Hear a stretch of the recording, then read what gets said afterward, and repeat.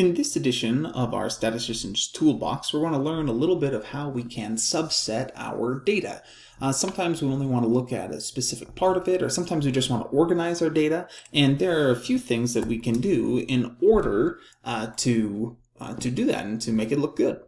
Okay, so first things first, let's just go ahead and copy in some data. So I've got this computer type and its speed, and I'm just going to go ahead and copy all of that.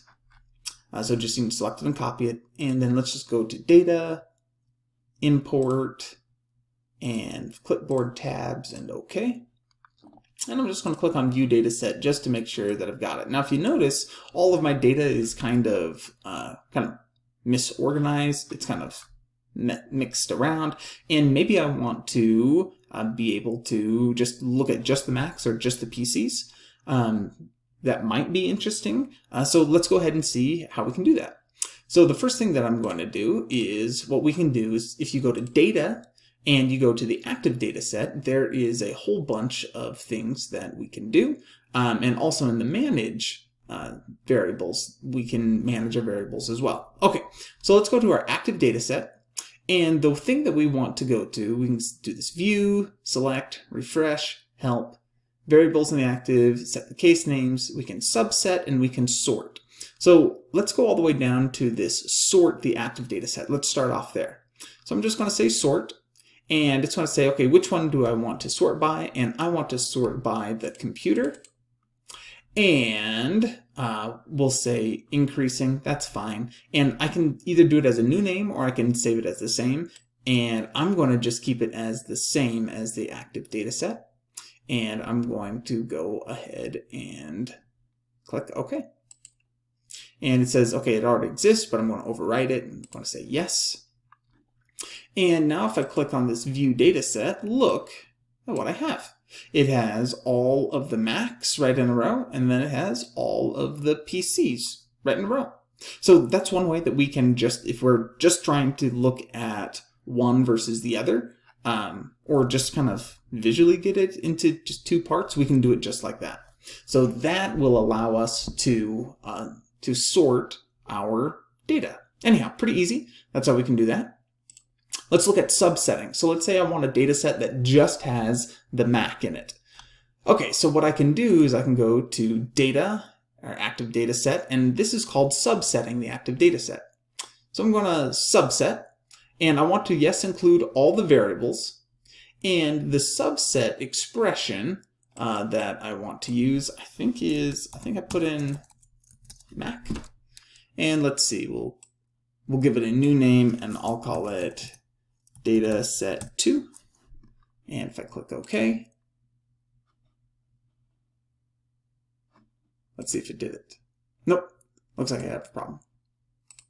In this edition of the Statistician's Toolbox, we are going to talk about how we can use R Commander uh, to sort and subset our data. Okay, so here we go.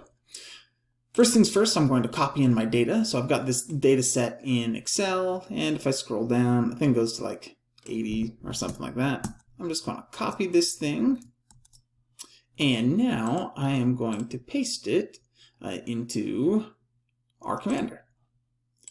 Okay, and now that I've got it in here, let's just click on View Dataset, make sure that it actually showed up, and it looks like that it's just fine. Now notice how my Mac and my PCs, they're kind of all intermixed in there. Maybe I want to sort them uh, so that we actually can see uh, the two different groups. It might be helpful. Uh, you might like that, you might not, but let's see how we can do it. So what we can do is if we go to our data and our active data set, uh, there are a whole bunch of things that we could do in here. And about midway down, there are two subset data and sort the data set. So let's go ahead and sort my active data set. So in this one, what I'm going to do is I'm going to sort it by the computer. And the sort direction will do increasing, I think just by alphabetical. And then let's give it a new name and we'll say sort computer. And I'm just going to go ahead and click OK. So now I have this new data set. This is my original one and this is my new one. And when I click on my view data set, now if you notice, my Mac and my PCs are all separated out. So that's kind of handy. It was able to sort those just how I wanted it to be. Okay, now, sometimes you also might want to separate out your data sets into have just the Mac in one data set and just have the PC in another data set. And we can do that as well. So what we do is we go to our data, we go to our active data set, and we can say subset uh, active data set. And we're going to include all the variables. I want both the computer and the speed in there. Uh, and in here, the subset expression I'm going to say is computer. And then what we do is we say equals equals. And then we got to tell it what we want it to actually equal. So I'm going to say in here, I want this one to equal Mac. And for this one, the name for the data set, I'm just going to call it Mac. And I'm going to go ahead and click OK. And now if I look at my new Mac data set, if I view it, check it out. It just has the Mac values here. So I'm able to just make a Mac data set. Now I can also do this where, let me go back to the original data set, click OK. Uh, okay, hold on. Let's go back and let's do maybe sort computer. Oh, I guess it didn't like what I did. Okay, so let me go ahead and copy in this data set again. For whatever reason, it did not like what I did. And let's put it back in.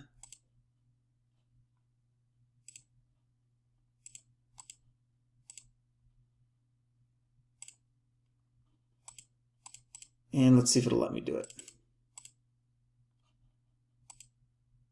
Okay, so I've got it back in now. Let's do a new one where we can do just our PCs.